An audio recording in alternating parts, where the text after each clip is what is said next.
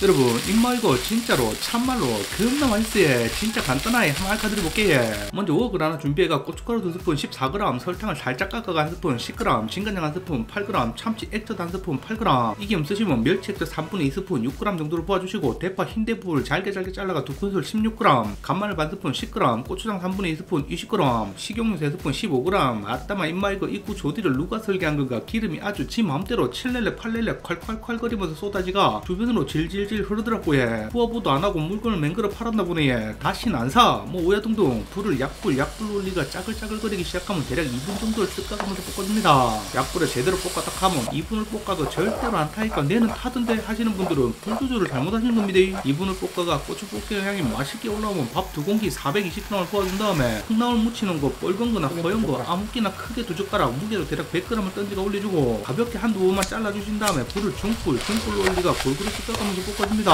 혹시나 혹시나 콩나물 무치는 게 움직인 분들은 양념을 넣고 2분을 볶은 다음에 콩나물 크게 한 주먹 대략 120g을 부어주고 중불에 1, 2분을 볶아가 숨을 치기 뛴 다음에 밥을 부어주시면 됩니다. 중불에 콩나물하고 밥을 대략 2, 3분을 볶아가 거연 밥알을 음세준 다음에 영상에 잘리지만 참기름 한 스푼 5g을 넣고 조미 김가루를 갖다가 크게 한 젓가락 커가 10g을 부어주신 다음에 골고루 섞어가면서 대략 2, 30초 정도만 볶아주시면 기똥차고로 맛있는 콩나물 볶음밥이 완성되는 기다 예. 입마 이거 한 숟갈 드셔보시면 진짜 매력이란 게 철철철 흘러 넘치가 둘이 몰랐고 볶았다가 한 숟갈 맛을 보고는 내도 모르게 혼자서 2분 다 퍼먹는 그런 맛입니다. 아삭하고 매콤하이 맛있고 그러게 보이소. 시청해주시가 맛있다. 감사합니다